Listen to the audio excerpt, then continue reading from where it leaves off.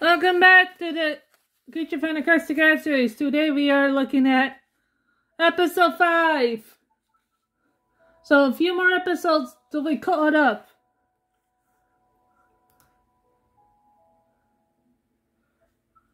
So we got three more episodes to go.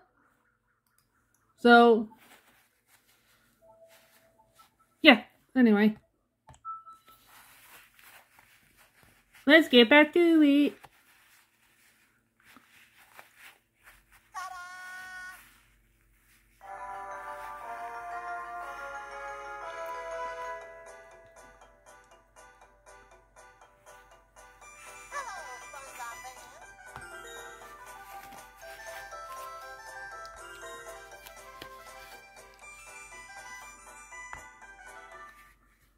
We are attempting to build one bus high rod.